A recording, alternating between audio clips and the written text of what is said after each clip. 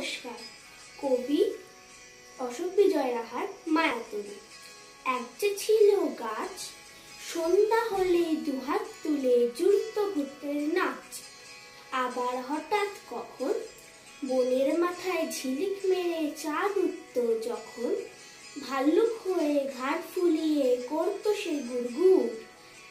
বৃষ্টি হলেই আসতো আবার কম্প দিয়ে চর এক পশলা শেষে আবার যখন বনের মাথায় চাঁদ উঠত হেসে, কোথায় বা সেই ভাল্লুক গেল? কোথায় বা সেই গাছ?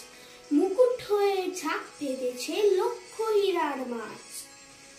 ভোরবেলাকার আচ্ছায়াতে কাণ্ড হতো কি যে, ভেবে পাইনি নিজে।